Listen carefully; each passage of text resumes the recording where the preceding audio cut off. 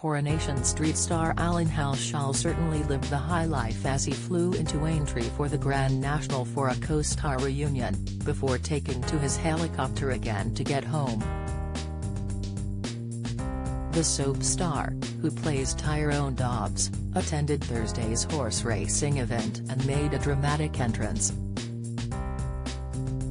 Taking to his Instagram stories, the actor shared snaps throughout the day of his journey to the races.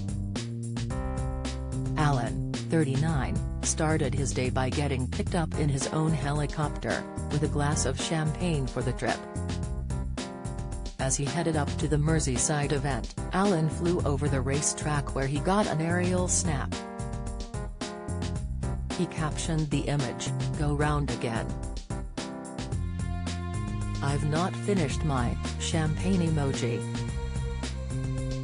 Taking to the ground, Alan made sure someone was there to capture his arrival. Filmed in slow motion, he shared a clip of himself stepping out of his helicopter for a day at the races. Dressed in a three-piece grey checked suit, the actor paired his outfit with a crisp white shirt and navy blue tie. He gave a nod to his footwear choice by playing Elvis blue suede shoes track over the video as he opted for a pair of blue leather shoes.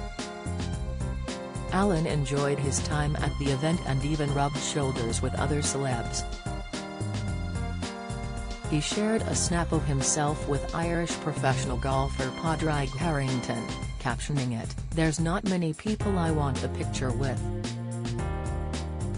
Before he also met up with Kevin Webster's actor Michael Le Vell and posed for a picture together. He wrote, Webo and Dabo day out. The Cobbles star later posted a pic of him in the driving seat of a helicopter saying, him flying us home FFS. Alan watched on as his own helicopter landed in a field, ready for him to get home. It's not the first time Alan has flew to the races in his own helicopter. Just a few weeks ago he arrived at Cheltenham in style with Mikey North. Walking in slow motion, Alan looked worlds away from his character Tyrone in the video, caption, annual slow-mo walk WR. The actors were in their element as they posed in the helicopter with a glass of pink fizz ahead of their day out at the races.